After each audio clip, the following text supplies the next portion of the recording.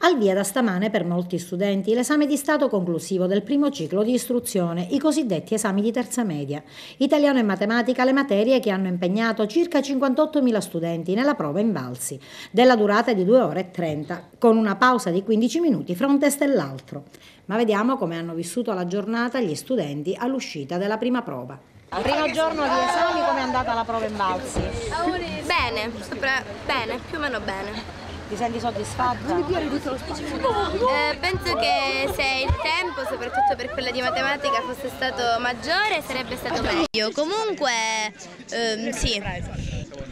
Prova di italiano domani, come ti senti? Preparato? Preparato benissimo. Hai studiato? Sì, ho studiato molto e mi sento che è facile.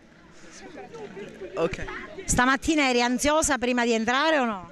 Beh, un pochino sì, all'inizio, poi E adesso come stai? bene, perché erano abbastanza facili più o meno, diciamo. Come è andato secondo te questo primo giorno di È esame? andato bene, solo che secondo me l'emozione, quindi... Oh, bene, bene. E per domani ti stai preparando? Come ti senti?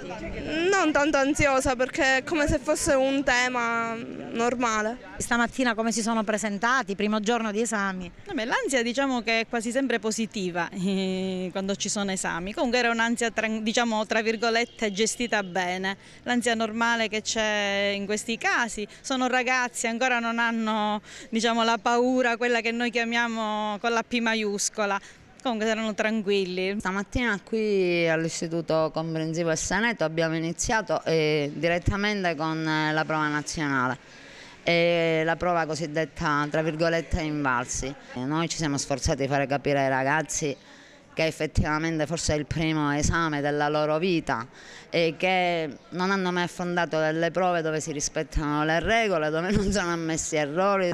Si continuerà domani con il tema di italiano. Domani abbiamo il tema di italiano, poi si prosegue con eh, le lingue straniere. In questa scuola faranno le lingue straniere, francese e inglese, nella stessa giornata con le due votazioni.